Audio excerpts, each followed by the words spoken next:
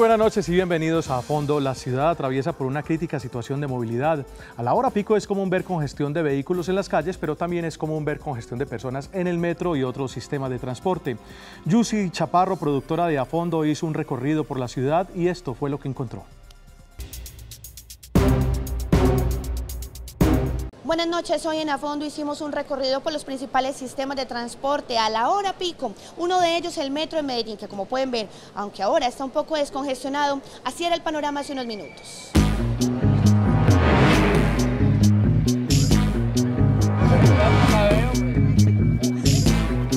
Acá no hay cultura metro.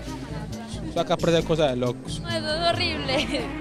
Porque es un manoseo y eso es todo rápido. No entra uno, sino que lo entra. Estas congestiones se registran día a día a la hora pico en el metro de Medellín, pero el panorama es el mismo en las calles con vehículos represados. También en los paraderos de bus de las rutas alimentadoras y en las estaciones de Metro Plus. Le falta Metro Plus que fluyan más carros cuando es la hora pico. El servicio del alimentador es muy mal, muy mediocre. Eh, se demoran mucho para subir, a veces se demoran hasta 45 minutos uno esperando el alimentador. Se demoran muchísimo para subir y otras veces que suben hasta cuatro juntas. El caos en el transporte público y en las calles obedece a serias dificultades en la movilidad de la ciudad. Hoy, hoy el metro definitivamente está generando unas cosas muy negativas. Tuvimos que esperar a que colapsara, que necesitáramos guantes de seda para poder entrar al metro en las horas pico, mañana o tarde. No hemos sabido gerenciar precisamente a futuro lo que tiene que pasar con el sistema de movilidad de esta ciudad. El Metro Plus no es un error, es un horror. Esta situación no es desconocida por el metro. Reconocen que hay dificultades, pero que trabajan arduamente para garantizar el servicio en las horas pico. El metro ha venido preparándose paulatinamente, incrementando la capacidad instalada y puedo mencionarle que en el año 2012 eh, tuvimos un ingreso de 39 vagones o coches adicionales al sistema que nos permitieron incrementar la capacidad instalada en los trenes, frecuencia de 3 minutos y medio. Eh, el sistema está habilitado para operar cada minuto y medio, es decir, nosotros aún tenemos una capacidad remanente muy grande.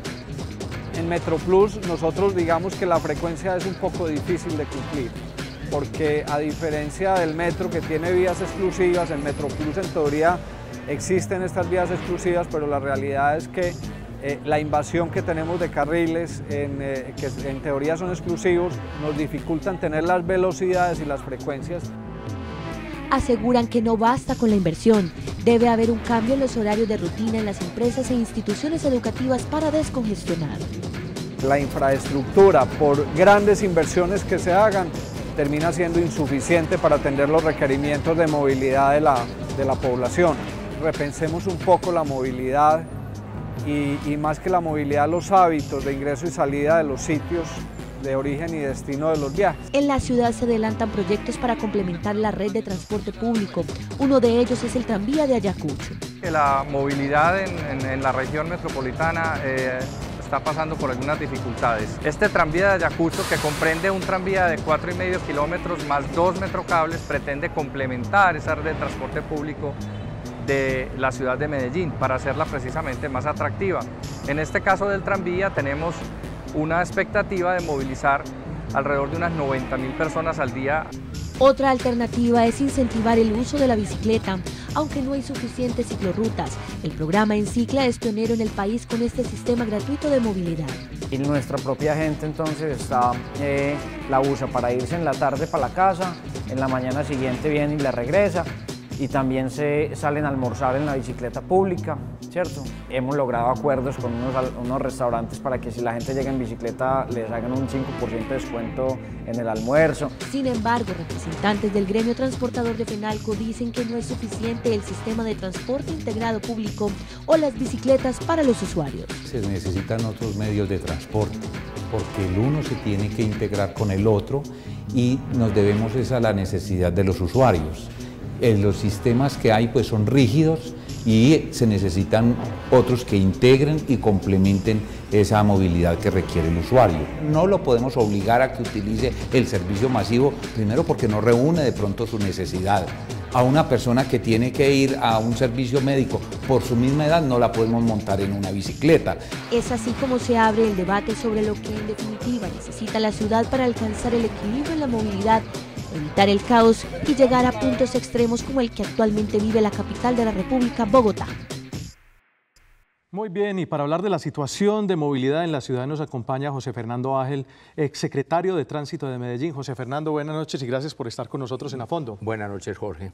También nos acompaña Juan Gonzalo Merino, el expresidente de la Asociación de Transportadores del Valle de Aburrá. Juan Gonzalo, gracias por estar con nosotros. Gracias a usted por invitarnos, doctor José Fernando. Muy buenas noches, Jorge. Buenas noches, y televidentes. Viejos conocidos, ¿no? Sí. Muy bien. Desde el 2004. Muy bien.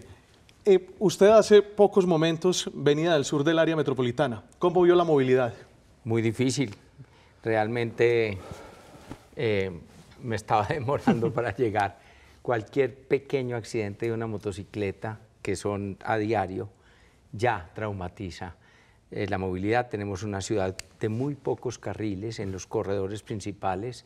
Entonces cualquier inconveniente ya es un trancón. Además de que definitivamente tenemos un número tan elevado de automóviles particulares y motocicletas con respecto a la malla urbana, pues que esto ya es, todo el mundo lo sabe, eh, no solo está complejo, sino que yo creo que tiende a empeorar. Vamos, ahí toca usted un tema. Nos hacen falta vías, Medellín ha construido las vías que necesita en los últimos años, nos hemos ampliado o nos estamos quedando cortos. Hacen falta obviamente algunas vías, hace falta tejer la red, hacer unos broches, unas conexiones, tener alternativa de una retícula más densa y para eso existen posibilidades. Eh, no es ese el camino, no es el tema de más carriles, no más solamente vías, es el camino. porque ya no hay dónde. Físicamente, si uno mira los edificios, por no hablar de los árboles, que en algunos casos toca definitivamente por razones ambientales sacrificar algunos árboles mayores, como es el tema del túnel verde en, Envigado, que es un despropósito que hayan suspendido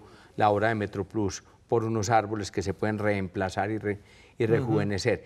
Eh, pero no, es físicamente en las secciones que dejamos.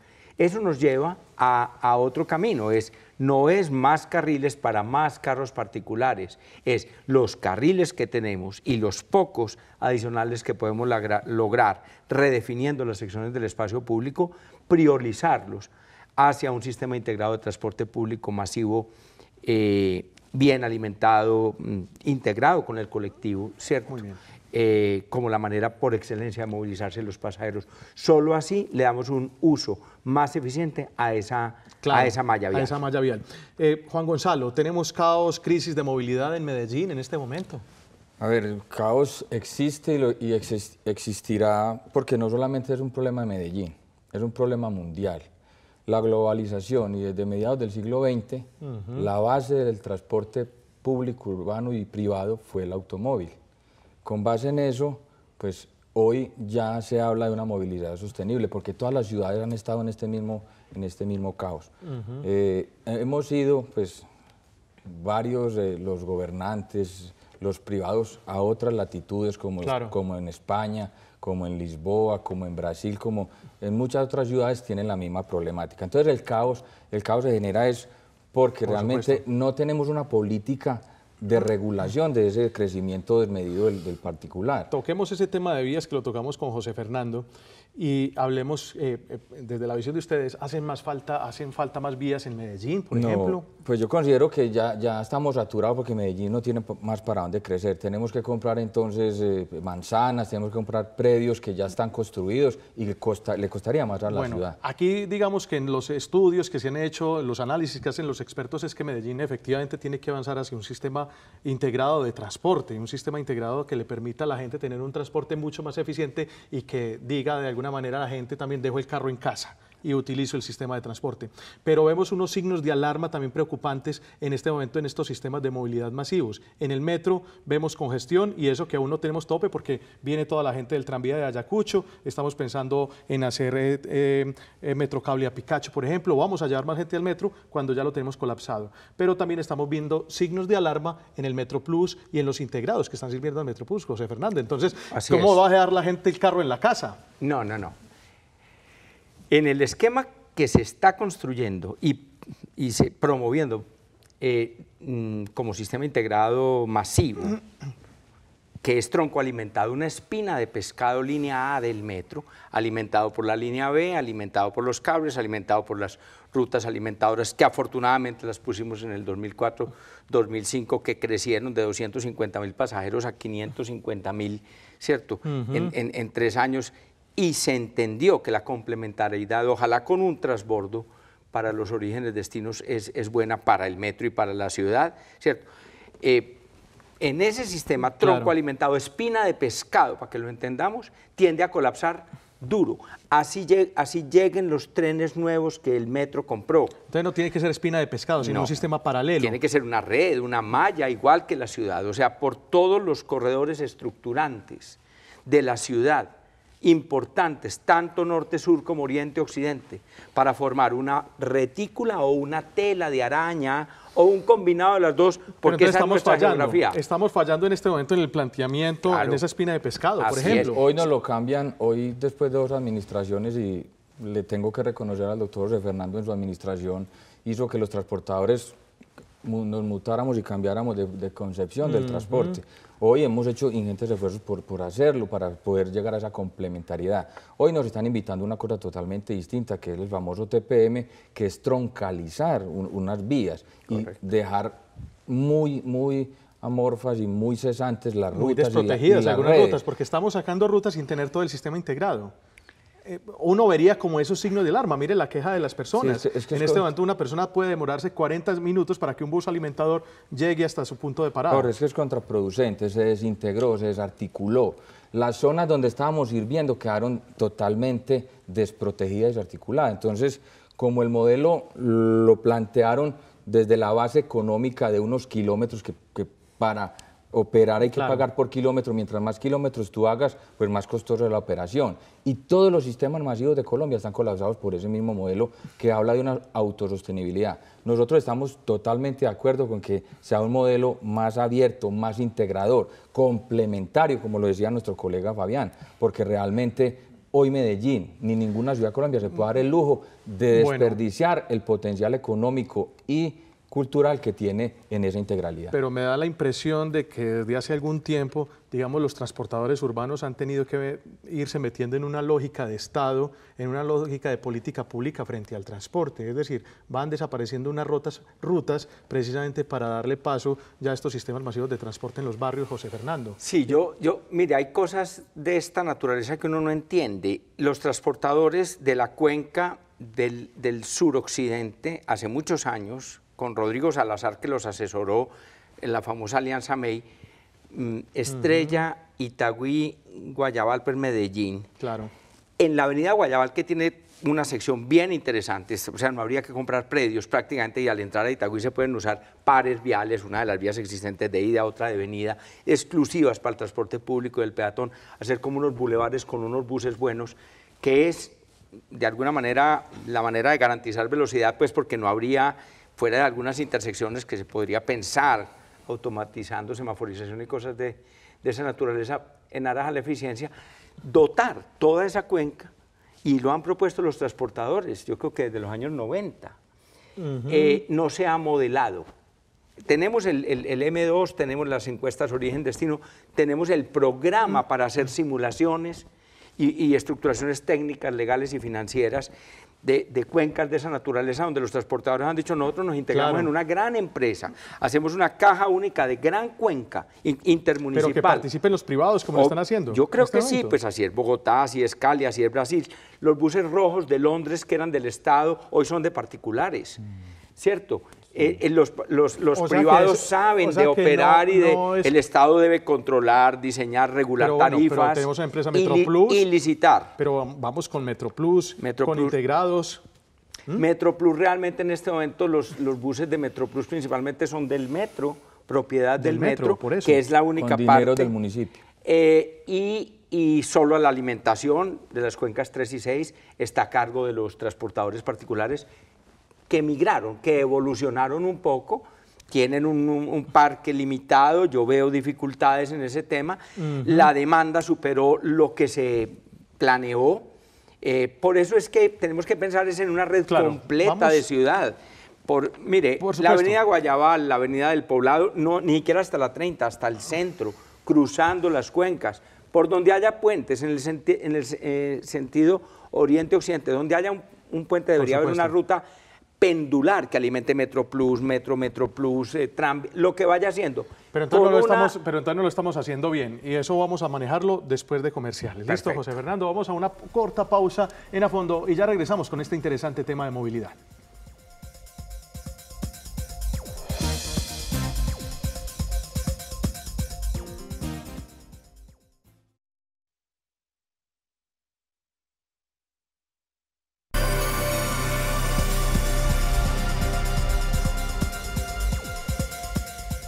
Seguimos hablando de movilidad a fondo. ¿Qué pasa con la movilidad en Medellín? Vemos congestión en las calles, vemos congestión en los sistemas masivos de transporte y por eso nos acompaña Juan Gonzalo Merino, presidente de la Asociación de Transportadores del Valle de Urra y José Fernando Ángel, exsecretario de Tránsito. Juan Gonzalo, eh, su posición, es decir, nos estamos equivocando en el modelo de aplicación de este sistema de transporte masivo, todo va al metro, todo va al metro y lo estamos colapsando. Desde la óptica del transporte creemos que sí estamos equivocados, vamos en contravía de lo que se planeó, cada administración planea diferente y nos pone en contravía. ¿Por qué?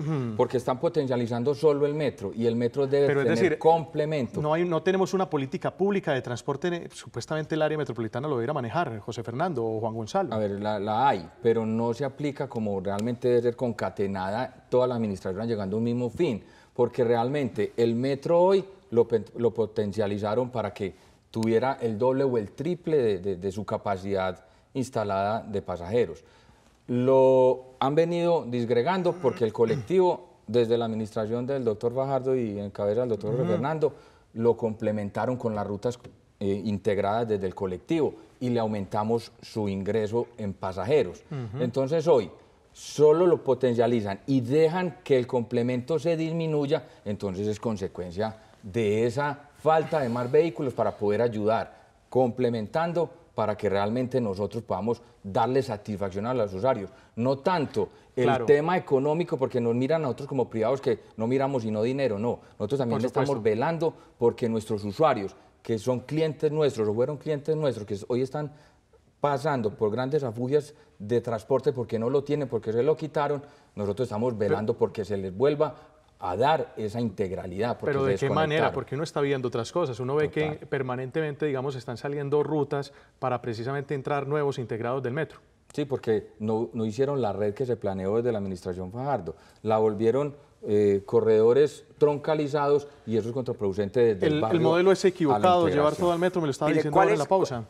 La, la, ingeniería de transporte, el diseño de una red urbana, de un sistema integrado para el Valle Aurrá, no es tan difícil de ver, es más, lo dicen los modelos matemáticos.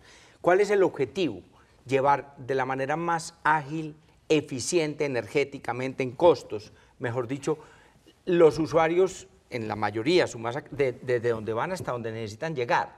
Ese es, no es ir a través de una espina de pescado metro exclusivamente. Por eso insisto, la avenida Guayabal, la avenida del Poblado, desde Sabaneta, más que varias empresas parando con el semáforo en verde, eh, separados del... ¿Cierto? Que, pero, pero se equivoca entonces la política pública de transporte en este momento en la ciudad. Yo creo que el, diseño de la red que está planteado, las prioridades, eh, están equivocadas. De alguna manera la red es diferente. La red se parece a la ciudad. Uno no puede decir, yo no modelo, el metro Pero lo ha dicho ya habían, Inclusive, ya habían rutas establecidas, digamos rutas de antiguo, eh, por los transportadores urbanos tal vez, los circulares, esas rutas circulares que dan un recorrido, digamos esas rutas ya estaban y funcionaban perfectamente. es un modelo similar, más o menos. funcionando con un éxito gigantesco, la 302 y la 303 por la 80, o sea, las rutas anulares, los anillos pequeños y grandes, complementado con cuencas cruzadas y con retícula, es la red que se parece a la ciudad. Claro. Eh, ¿qué, significa? Que la gente puede viajar de un, de un punto a otro si la red está completa, ojalá máximo con un transbordo, ojalá con tarifa única plana. Los que van más lejos, que de pronto les toca transbordar más, no tienen por qué pagar más, porque además son la gente que vive más lejos, a veces los más pobres. Estamos, estamos lo pensando... Que planteaba, lo que planteaba eh, eh, Juan Gonzalo hace un momento. Les quiero preguntar algo, y lo plantearon ahí en el, lo planteó el Metro, en el, en el informe que vimos al comienzo dice que Medellín es una ciudad de horas pico y que eso es el, eh, digamos que ahí está el problema, que habría que cambiar los horarios de entrada de tal vez de las empresas, tal vez cambiar entonces horarios de universidades, de colegios, para evitar esa congestión a determinadas horas. Juan Gonzalo, su posición. No es la solución. Puede ser parte de ella, pero no es la solución. Los picos se extienden o se aplanan o se levantan de acuerdo a la necesidad de movilización de los usuarios. Si los aplanan, pues habrá picos más pequeños, pero habrá congestión, porque hoy la idiosincrasia del, del latino, de las personas de Medellín, es que viven, no es, un, no es un lujo tener un vehículo, viven, se transportan en los vehículos y prueba de ello es que hay, hay vehículos de más de 20 años que se vuelven negocio Claro. o se vuelven necesarios y utilitarios para poder subsistir y vivir. Cosa distinta en Europa, que en Europa hay mejor calidad de vida, hay un ingreso per cápita, per cápita más alto y que realmente se puede dar el lujo a los estados de subsidiar lo que no han subsidiado acá en Colombia ni en Medellín, el transporte. No es únicamente el tema de transporte masivo. Mire, en el mundo se está empezando a hablar, gracias a, a la tecnología, eh, del urbanismo de cercanía. La gente está aprendiendo muchas veces y las, las centralidades, así sean periféricas, a volverse más complementarias y la gente tiene lo que necesita cerca. El ideal de una ciudad es que la mayoría de las personas Ustedes- no requieran un viaje motorizado, ojalá fuera bicicleta, a pie, cerca donde se vive, centralidades autónomas. Eso es muy importante para el POT, que las centralidades, así sean periféricas, Por así no estén en el río, sean más completas y la gente Bueno. tenga cerca lo requiere- que requiere. Claro. Entonces es muy importante, movilidad alternativa, urbanismo de cercanías, Por supuesto. ¿cierto? Y además del transporte público masivo de alta eficiencia, que significa entender todos los corredores como Claro el que mercado sí. que, el metro debería liderar como promotor del sistema integrado del Valle de Aburrá, no solo el tren que tenemos, yo sé que hay que llenarlo, hay que pagar los trenes que vienen, hay un tema Se me tarifario tiempo, complejo. Fernando. Me va a hacer falta otra media hora para hablar con ustedes dos sobre este tema. Es un tema apasionante, este tema de la movilidad, y yo creo que deberíamos hacer una continuación de este tema. Muy interesante el tema. José Fernando, gracias por estar en A Fondo. Con mucho gusto. Juan Gonzalo, muchas gracias por estar A en A usted Fondo. por invitarnos y siempre estaremos prestos a dar opinión. Claro que sí, a ustedes también muchas gracias por acompañarnos. Nos vemos el próximo martes con otro tema de debate. No olviden opinar en nuestras redes sociales, arroba Teleantioquia, numeral a fondo. Que tengan una feliz noche.